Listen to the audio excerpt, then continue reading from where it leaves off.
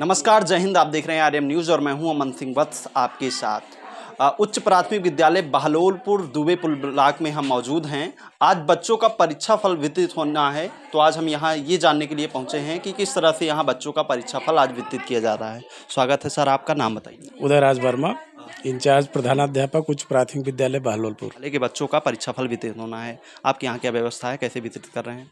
कोशिश करेंगे कि विषम परिस्थितियों के बाद भी आज परीक्षा फल पूर्ण कर लिया जाए। मार्कशीट तो अभी शासन से वैसे मिलती अभी प्राप्त नहीं हुई लेकिन जब मिलेगी तो उसका भी कार्य हो जाएगा। लेकिन अभी तक प्रयास ये है कि कापियों का मूल्यांकन करके आज शाम तक छुट्टी के पहले हम लोग बता सकते हैं अपने बच्चों को। मौखिक रूप से। यस यस क्या समस्याएँ आ रही हैं? समस्या की ड्यूटी भी लगा दी गई है बोर्ड परीक्षा में? तो समस्या ये है कि कम से कम विद्यालय में एक इंचार्ज को तो रहना ही चाहिए। और सारे हमारे अध्यापकों की ड्यूटी बोर्ड परीक्षा में लग गई है।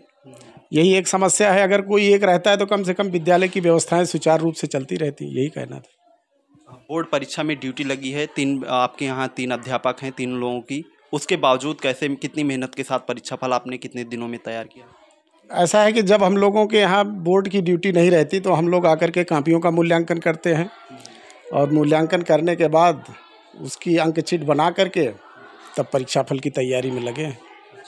जैसे कि आपने बताया कि तीन अध्यापक हैं तीनों लोगों की ड्यूटी लगी है तो आप लोग जब अनुपस्थित रहते हैं तो विद्यालय में कैसे पढ़ा शिक्षा का विद्यालय का संचालन एक उच्च प्राथमिक विद्यालय पूरे अजमत से एक उदय प्रताप सिंह अनुदेशक हैं उनके द्वारा संचालित होता है। द्वारा संचालित है। लेकिन परीक्षा फल बनाने की मेहनत सारा कार्य हम ही लोगों के जिम्मे। इसके अलावा भी बोर्ड परीक्षा के अलावा भी कहीं ड्यूटी आप लोगों की लगाई गई है? लगाई तो नहीं गई है, लेकिन एक ड्यूटी लगी थी विधान परिषद चुनाव में हमारी। लेकिन कल उसका प्रार्थना पत्र मैंने खंड शिक्षा अधिकारी के माध्यम से भिजवा दिया अब उसमें देखिए कैसे व्यवस्था बनती है। जबकि उसमें छः तारीख को ट्रेनिंग थी, आठ को पार्टियों का प्रस्थान करना था, यही व्यवस्था है, लेकिन हो सकता है कि ड्यूटी शायद कट जाए। हम यही कहना चाहेंगे कि कम से कम विद्यालय में एक हमारा जो जिम्मेदार अध्यापक हो, उसको अन्य किसी ड्यूटी में ना लगाया जाए। भविष्य में अगर ऐसा होता है तो वो अच्छा रहेगा।